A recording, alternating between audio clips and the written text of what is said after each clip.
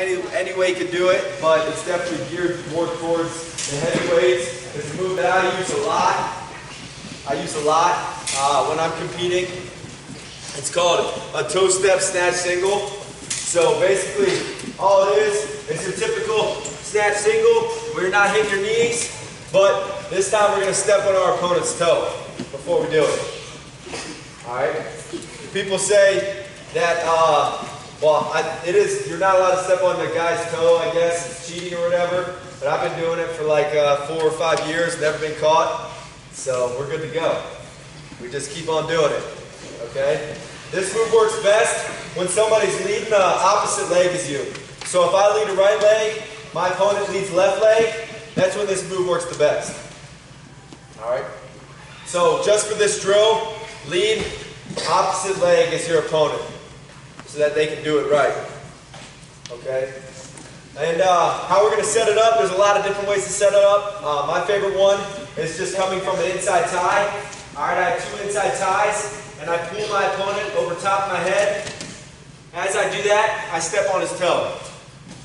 When I step on his toe, I lock my hands at the same time, and then I'm going to drive up to my feet. Bring the leg up.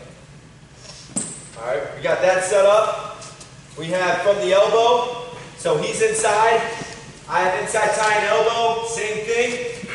Pull over my head, step on the toe, drive up to my feet.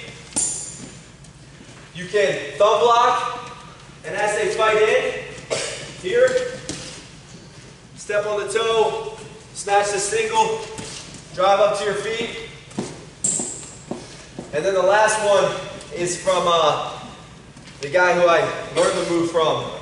His name's uh, Reza Yazdani. He's from Iran, country in the Middle East. I, wa I watched him wrestle. He didn't like teach me it. I just watched him wrestle, film, and then uh, he's a couple-time world champion in my weight class actually, but we never wrestled. Uh, so maybe we'll wrestle in the future. We'll see. But the way he sets the move up is he'll be wrestling the guy, and then he'll kind of break away, and I'll act like you got poked in the eye for a second and walk it off. And then I'll come back in the center, slap hands, and then right off the whistle, step on the guy's toe, bring it up to your feet. All right, so you guys can do any one of these, any one of these setups.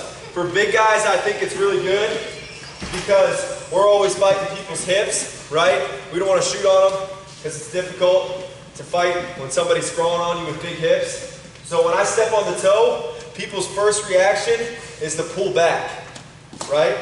And as they pull back, their leg gets really light. So they're pulling back, their leg gets light, I don't have to fight their hips, I can lift it up in the air.